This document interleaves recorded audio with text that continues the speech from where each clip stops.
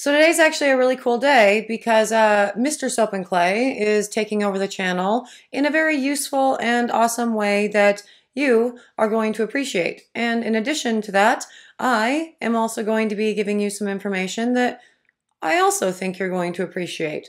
And as a result, two people, two projects, gonna get a bit long, so we're going to jump right to it in just a minute. But before we do, hello, I am Mrs. Soap and Clay. Let's make stuff.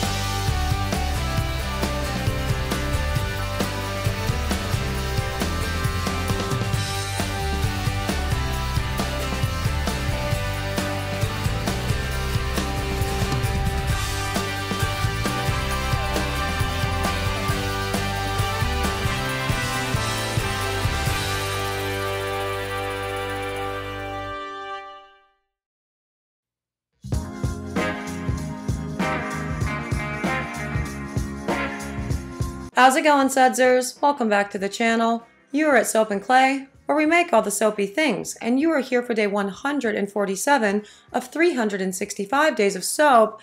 And today, as I said, Mr. Soap and Clay is teaching us things.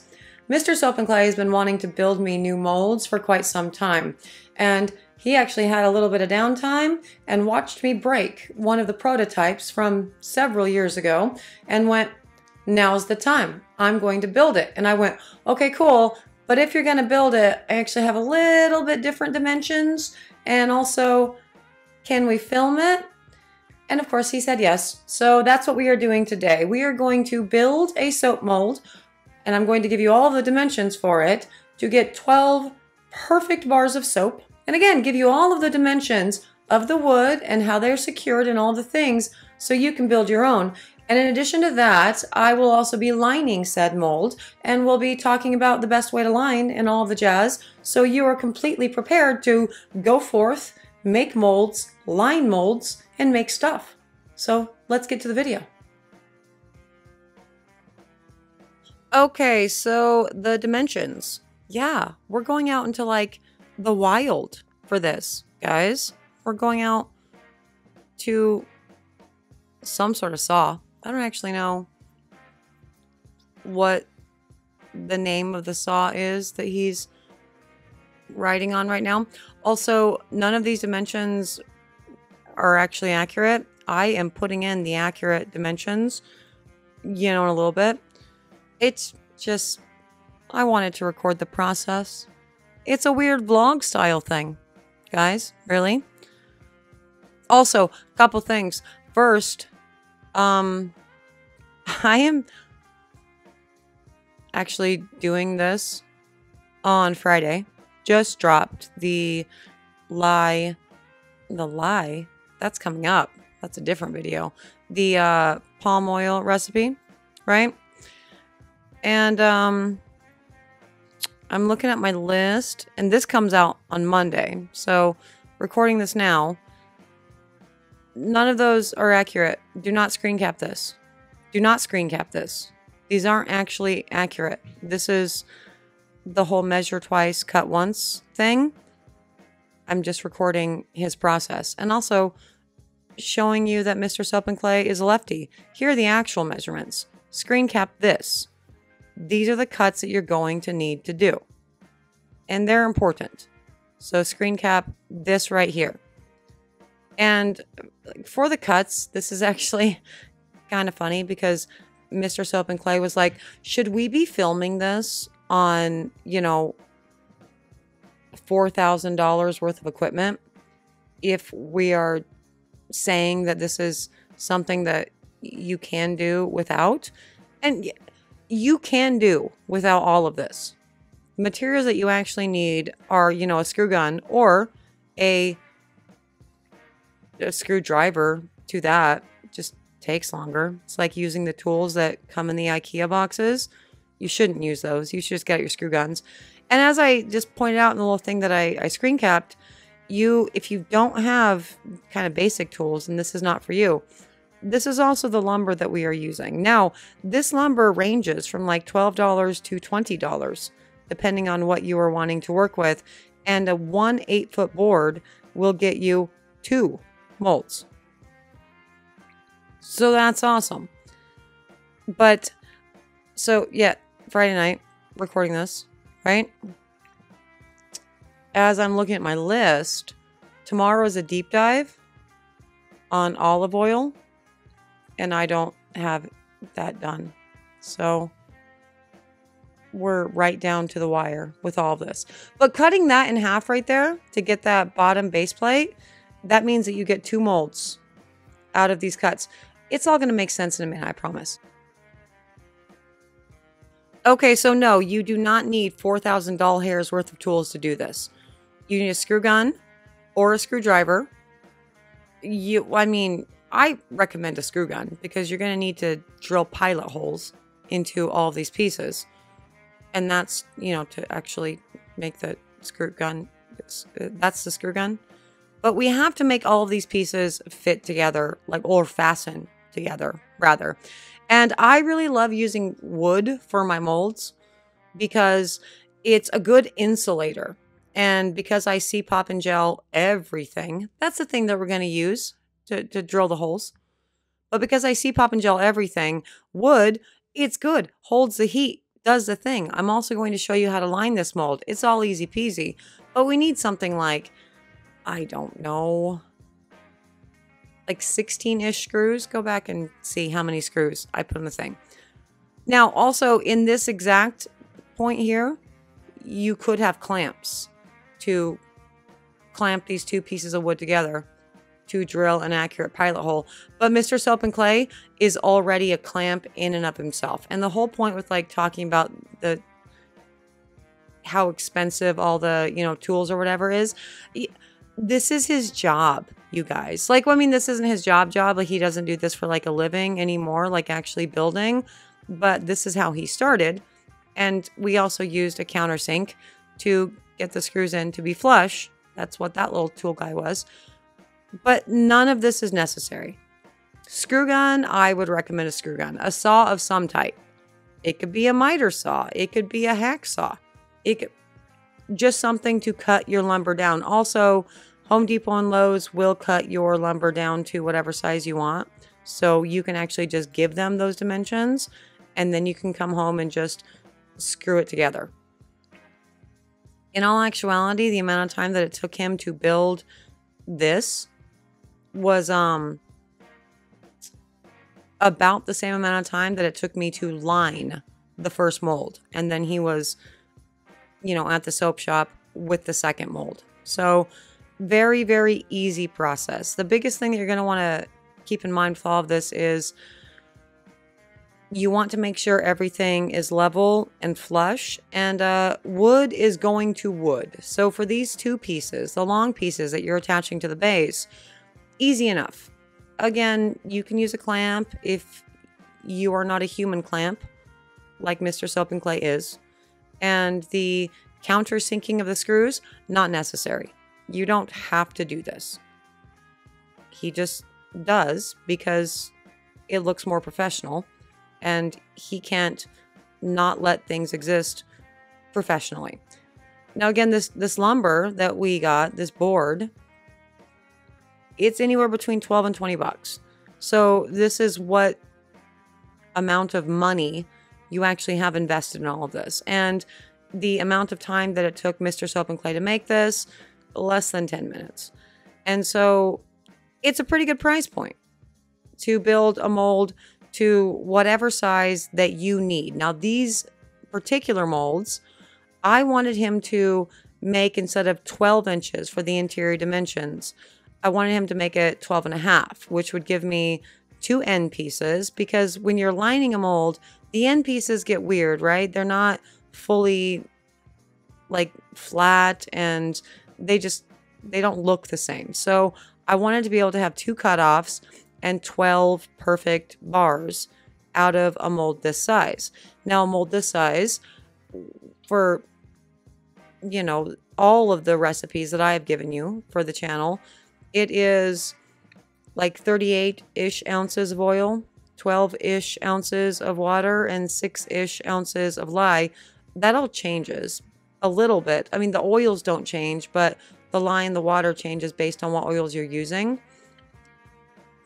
But that's basically it. So this is going to give you 12 perfect 4.75 ounce bars of soap when cured in this mold with two end pieces. Now, with the end, these ends that he is putting on right now, wood is going to wood.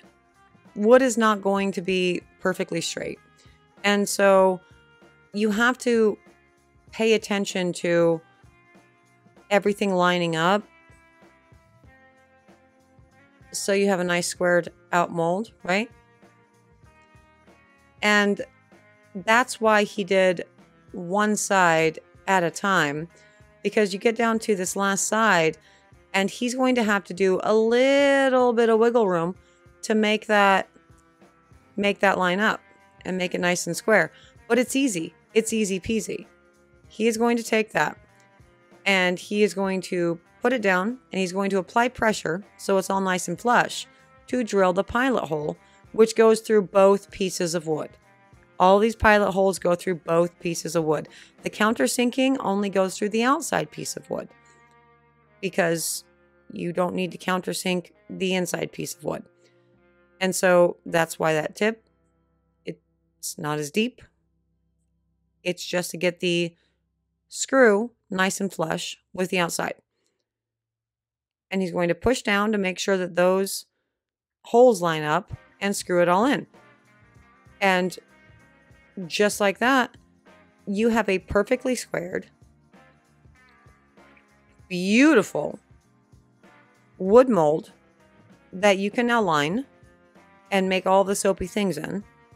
It holds heat well. It insulates the soap during the saponification. And you can make two of them for like 20 bucks. And so, as far as I'm concerned, that's a pretty good ROI. And in all actuality, what you really need is some sort of screw, gun, and some sort of saw thing. And if you don't have those basic tools, honey, you should not be making your own molds. Like, go ahead and go spend 75 doll hairs for literally the same thing somewhere else. Do not invest in the tools if you do not have them. Okay, leaving the vlog style content and moving on to the, you know, soap shop. We are going to line this beautiful, perfect, fully squared, easy peasy, five cuts on some kind of saw mold. You know now. And when I I remember looking up videos a long time ago about how to line a mold, right? And A, they didn't super exist. But two, the ones that did that I thought I would be interested in had like really precise maths. And I think F that noise. You have the mold in front of you. So, what you want to do is make sure that both sides go over the end pieces of the mold and you make a note and you make a cut. Now, because Mr. Soap and Clay was able to make me two molds out of this eight foot board length, I'm going to make two liners. Going to line them both. And so a nice firm crease there. And you use the edges, right, for your what is square thing. And you're going to cut there. And so now I have two pieces of paper that will line two of these molds. And I'm going to cut it in half. And again, with this, yes, you can make a you can make a template with the official proper dimensions of all the things or whatever, like you can do. I tried to do years and years ago, and the template never fully lined up. So this is what I prefer to do for all lining of molds. Now, I just make a random crease that will go up the sides of the sides and give it a nice, really firm, really good crease. So run your, your fingernails along that. Also, side note, since I'm doing all this, I can't, um, you know, use my teeth. I also can't bite my nails anymore. So my nails are growing, and that's gross. But it also does help with the uh, creasing of things. Now, once you have the one crease in, you put your mold back on the paper and line up one interior edge with the paper and then just make a note, just make a little line as to where you need to make your fold. And then after that, again, this is kind of an arbitrary crease. You need to make sure that it will be as tall as the mold, but you don't unfold anything. Just keep it all folded up. And you just use the side because those are straight cut, those are straight seams there to line it up so you know that you have a straight fold. And then you're going to put it into your mold. And so look, it all fits. It's all great. We're going to shove that to the side there and put the rest of the paper kind of downish. And then we are going to use a anything. I use the end of a pen to create the line that I'm going to need to, you know, then take out and crease properly. But I'm just going to use the other side, the not writing side of a pen to create that line and just really dig it in there so I know where I'm supposed to fold. But since it's already in, I'm going to go ahead and cut off the excess so it's easier to work with. This particular excess I use to line my one pound molds for my soap classes, which is good because we don't like wasting things. And on that line that I just created, we're going to fold it over, make sure all of the straight edges line up, and give it a nice, really good crease. Now we are going to open it up and we are going to cut out all of the excess paper in these corners. We want to be able to fold this together, right? And it's easier when you have less paper. So we are just going to cut out this bit of excess. Now, this is the only actual waste in a piece of butcher paper, shiny side up, that you're going to experience with lining your mold this way. And you know, that sucks. Waste sucks for sure. But that's a little bit. Now you're going to just very simply line up these creases you've already created and fold that over and create like a pocket. And that's easy enough. So you're going to do that to all four corners. So you have like a literal, like a pocket, like an envelope that goes into your mold. And this is where things get a little bit tricky and something that you should actually keep in mind for all this. In order to properly fold this envelope down into the mold, so it's a nice, really smooth, you can see what you're doing, there's no pieces of paper flopping around to do whatever, you're going to want to cut down the sides on all four corners so you can fold it up easily.